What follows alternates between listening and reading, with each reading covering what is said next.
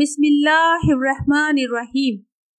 رمضان کے پہلے عشرے کی یہ دعا پڑھنے والے پر اللہ کا خاص کرم ہوگا۔ آج کی اس ویڈیو میں سکینہ بہن آپ سے رمضان المبارک کے پہلے عشرے کی فضیلت اور دعا شیئر کریں گی، جسے پڑھنے والے پر اللہ کی خصوصی نظر کرم رہتی ہے۔ جی سکینہ بہن۔ بسم اللہ الرحمن الرحیم۔ رمضان المبارک کے پہلے عشرے کی فضیلت۔ السلام علیکم ناظرین۔ آج جو ہم آپ سے ویڈیو شیئر کر رہے ہیں، وہ ہے رمضان المبارک کے پہلے عشرے کی فضیلت۔ ناظرین، جیسا کہ آپ کو معلوم ہے کہ رمضان کے مہینے میں اللہ تبارک و تعالیٰ کی ذات پاک دوزخ کی آگ کو ٹھنڈا کر دیتی ہے اور جنت کے در کھول دیتی ہے۔ اسی طرح رمضان کے پہلے عشرے کی بہت سی عبادات ہیں، جن میں سے کچھ ہم آپ سے شیئر کر رہے ہیں۔ پہلے عشرے کو اللہ تبارک تعالیٰ نے رحمت کا عشرہ قرار دیا ہے۔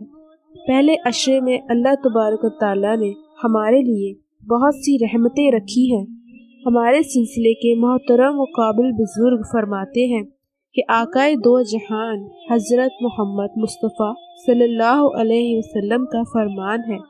کہ اس عشرے کی دعا کو پڑھنے والوں پر اللہ تعالی کا خاص کرم ہوگا۔ وہ دعا یہ ہے۔ ربنا فاغفر لنا ورحمنا وانت خیر الراحمین۔ ترجمہ اے میرے رب، تو ہمیں بخش دے اور ہم پر رحم کر۔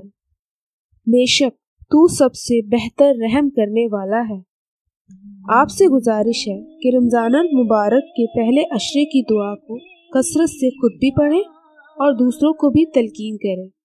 اللہ پاک آپ کو اس کا اجر عظیم دے۔ آمین۔ سم آمین۔ شکریہ سکینہ بہن۔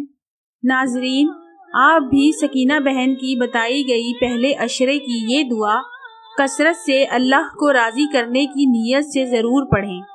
انشاءاللہ اللہ تعالی خدا کی رحمتوں کے دروازے آپ کے لیے ضرور کھلیں گے۔ اس دعا کو خود بھی پڑھیں اور دوسروں سے بھی شیئر کریں۔ ہماری دعا ہے کہ اللہ کی ذات اس دعا کے وسیلے سے آپ اور آپ کی اولاد کی جان و مال کو ہر قسم کی آفات و بلیات سے ہمیشہ محفوظ فرمائیں اور آپ کی تمام دنیاوی حاجات کو بھی قبول و منظور فرمائیں اور آخرت میں بھی اعلیٰ مقام عطا فرمائیں۔ آمین۔ سمامین ناظرین، اگر آپ کو یہ ویڈیو پسند آئے تو اسے لائک اور شیئر ضرور کریں اور ہمارے چینل کو سبسکرائب بھی کر لیں تاکہ ہر نئی ویڈیو آپ تک بآسانی پہنچ سکیں شکریہ۔ اللہ حافظ۔